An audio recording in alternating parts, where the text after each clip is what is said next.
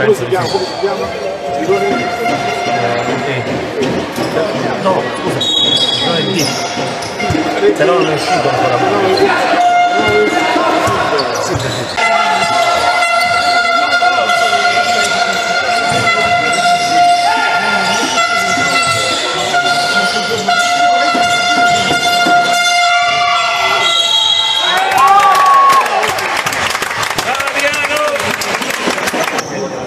Adriano,